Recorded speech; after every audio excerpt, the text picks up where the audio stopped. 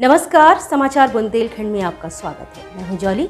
आइए सबसे पहले नज़र डालेंगे झांसी की कुछ खास खबरों पर। उत्तर प्रदेश में जहरीली शराब से हुई मौतों को लेकर कांग्रेस ने प्रदेश सरकार पर आरोप लगाया है कि सत्ताधारी दल और उनके नेताओं की साठगांठ से प्रदेश में अवैध शराब का धंधा फल फूल रहा है। शहर कांग्रेस कमेटी के अध्यक्ष अरविंद वशिष्ठ के नेतृत्व में कांग्रेसियों ने जहरीली शराब कांड के विरोध में कचहरी चौराहे के पास स्थित गांधी उद्यान में धरना देकर प्रदर्शन किया। इस दौरान शहर अध्यक्ष ने आरोप लगाया है कि उत्तर प्रदेश के लगभग 11 जिलों में एक सौ पैंसठ लोगों की शराब पीने से मौत हो चुकी है और सरकार निलंबन की कार्यवाही कर चुप बैठ गई है।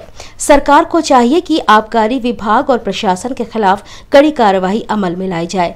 उन्होंने कहा कि आज उत्तर प्रदेश के हर गाँव में अवैध शराब का धंधा कुटीर उद्योग की तरह फल फूल रहा है। सत्ताधारी दल के नेताओं के संरक्षण में ये कारोबार हो रहा है।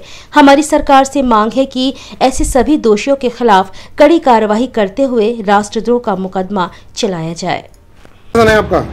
देखिए जैसा कि आपको विदित है पूरे उत्तर प्रदेश के 11 जिलों में लगातार लोग धीरे धीरे जहरीली शराब के शिकार हो रहे हैं। हाल में ही अलीगढ़ में जहरीली शराब से काफ़ी लोग मर गए। अभी तक पूरे प्रदेश में लगभग एक से ज़्यादा मौतें शराब जहरीली शराब पीने से हो गई हैं। मैं समझता हूँ कि इस तरह सरकार कब तक मौत बांटेगी। आबकारी विभाग, प्रशासन का पुलिस विभाग हाथ पर हाथ धरा मुख दर्शक बन के जहरी शराब के कारोबारियों को देखता रहता है। उत्तर प्रदेश के गाँव गाँव में कुटीर उद्योग की तरह जहरी शराब का धंधा, अवैध शराब का धंधा फल फूल रहा है। सत्ताधारी दल के नेता और शराब माफिया पूरी तरह से पैसा कमाने में लगे हुए हैं, लेकिन सरकार इस पर कोई ध्यान नहीं दे रही है। मैं सरकार से कहना चाहता हूँ कि आप एक आध आदमी को निलंबित कर देते हैं, अधिकारी को छोटी मोटी कार्रवाई कर देते हैं। इससे काम नहीं चलेगा।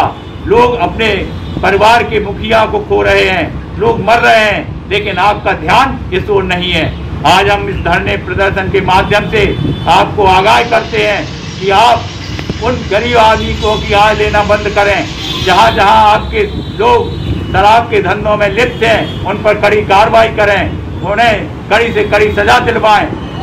हम लोग चाहते हैं कि उत्तर प्रदेश के अंदर अवैध शराब का धंधा पूरी तरह से बंद हो, जिससे हमारे भोली भाली गरीब जनता इस तरह अकाल मौत के मुँह में जाने से बचे।